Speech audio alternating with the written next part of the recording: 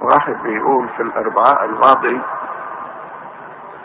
أحد الأخوة سأل قداستكم عن الأمر الذي أمر به الله أبونا إبراهيم أن يقدم إلى الله ابن الحبيب الوحيد ذبيحة علما بأن كان عند إبراهيم ابن اخر غير إسحاق وهو إسماعيل ابن هاجر. فقداستكم قرأت علينا السؤال لكن لم نسمع الإجابة. لا أنا قلت الاجابة بس جايز آه، الميكروفون ما كانش مظبوط. هو ربنا قال له بإسحاق يدعى لك نسل بإسحاق يدعى لك نسل.